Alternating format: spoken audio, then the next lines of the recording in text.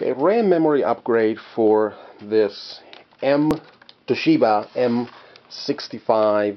M65S9092. If you flip your computer, you will see there is this compartment here and RAM memory is down here. So there's one screw, you just need a little screwdriver. There's one screw you have to, oops, unscrew from here and then you pry it open from here. And this comes out okay? Now this is your RAM memory here. And this is your wireless card. Uh, actually this is the wireless card. Um, now RAM memory has these little two two little tabs on the side. And what you have to do you have to you have to push them aside. And the RAM memory kind of slips out. So what it does now it's like it's loose then you just take it out.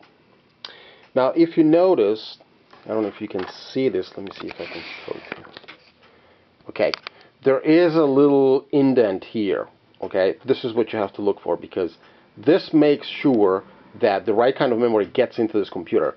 Um, there's different kinds of memory. You have this little thing and this little um, indent and it could be down here down here and that that's basically the uh, the hardware snap and if you don't have the right kind of memory you're not going to have the right kind of uh, uh, tab here and so you're not going to be able to put it, put it in. Um, if you take out this is a 512 um, you might want to upgrade it to one gigabyte. Uh, let's say this is your gigabyte. What you have to do you have to make sure that you align this little you align this tab this little hole here with the little plastic tab that's in here. In other words, if you put it on backwards, it's not going to go because there's a little plastic tab here.